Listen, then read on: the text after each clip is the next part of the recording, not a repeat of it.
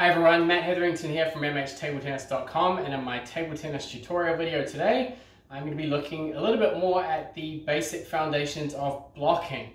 Blocking obviously is something that's very important not just in matches but also in practice and I think uh, it's a skill that's overlooked in practice too much. If you want to practice in better training groups and with better partners, it's very important to be able to provide a high level of practice for your partners. And I think blocking is one of the skills that is pivotal that you really need and it can make the difference between whether people want to practice with you or not. So working on blocking is very important.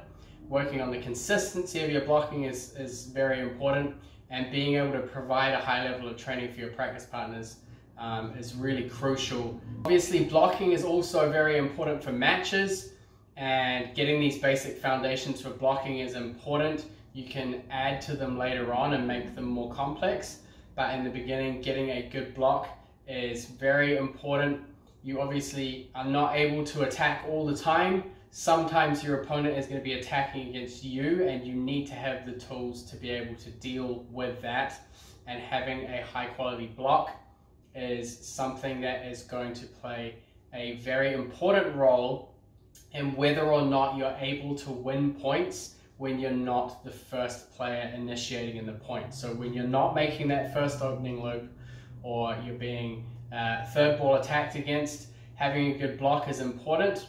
And also it's a tool that we can use that has high safety margins that helps us to really pressure the placement that we're putting against our opponent as well. I'm going to go through some very simple tips one of the things that's really important is stability. So when you're blocking, you need the position, whether it's forehand or backhand.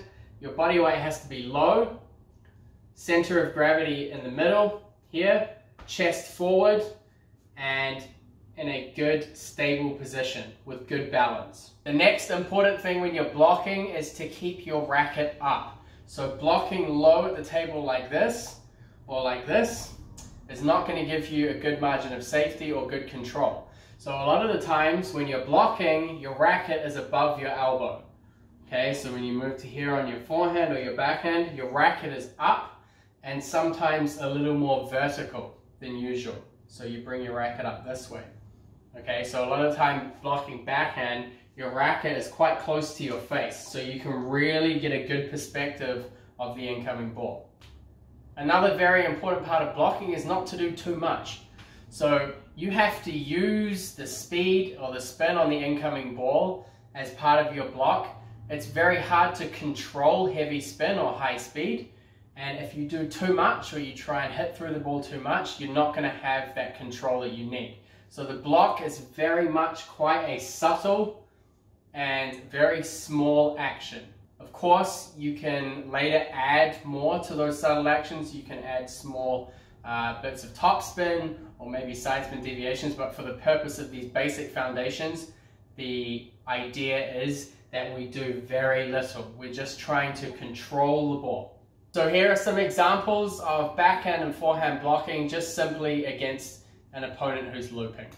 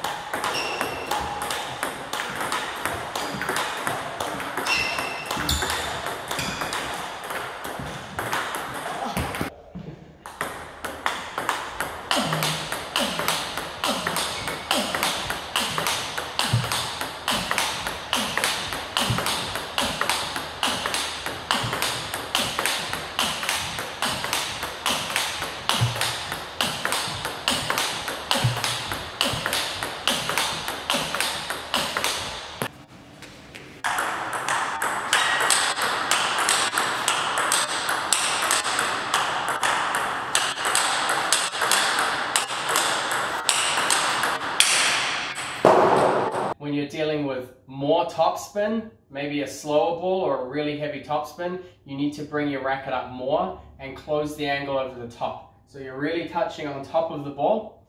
And when you're having somebody play a lot of power to you, you can get behind the ball more and not so much on top and your racket doesn't quite have to be as high. Once you've practiced the basic forehand and backhand block, you need to start working on blocking transitions.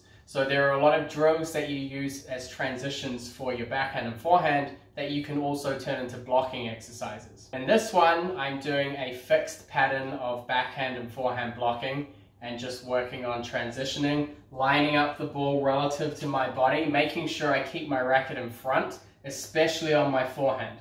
So I don't want to be blocking in line with my body. I need to keep my racket in front.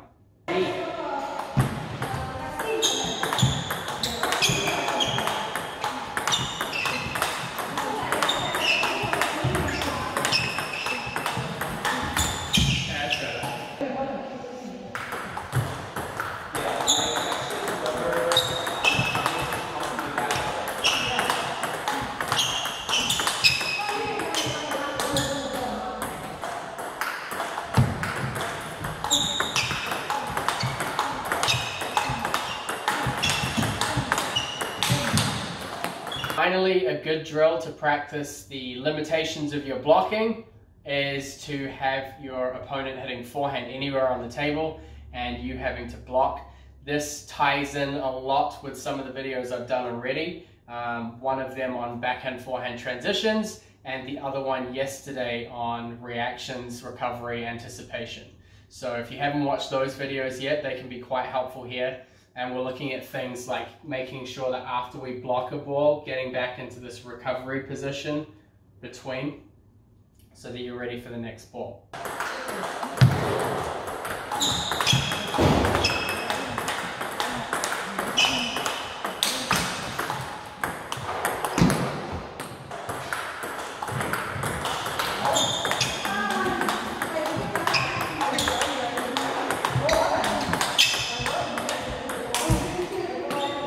Are some basic drills that you can practice. Uh, when you're first getting used to blocking, it's good to just make sure that you have a very high level of consistency against topspin. And then once you start getting into more advanced blocking skills, working against really heavy opening loops or third ball attacks, adding variations, um, that all comes afterwards. But for this video, I just wanted to focus on those basic elements of blocking. And please I implore everybody, if you think that your blocking needs work, take some time during your practice to create some different blocking variables that you can work on. Your practice doesn't always have to be about attacking. Thank you again for joining me. Um, these series of videos have been really fun so far. If you haven't checked out some of the other ones, um, there are at least 30 on the channel now that go through different elements of serving, footwork, um, choosing different drills for different areas of the game, short and long pushing, opening up. Um, I've tried to cover quite a good range of topics. There are still more to come. Thank you guys for joining me and I'll be back again tomorrow.